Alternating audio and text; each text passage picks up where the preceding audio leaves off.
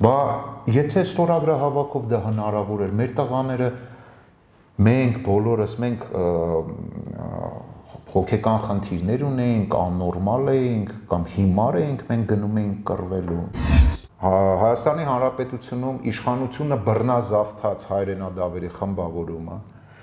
եւ ընդդիմադիր դաշտում գործող իրենց ընկերները ձերք ձերքի տված աշխատում են Ռուսաստանին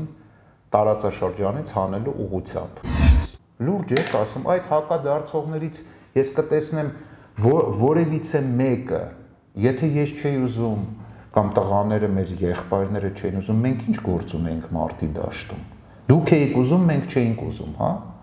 Թե սերտիֆիկատով է այսօր Արցախի անկախությունը որոշվում։ Որևիցե ընտրություն այս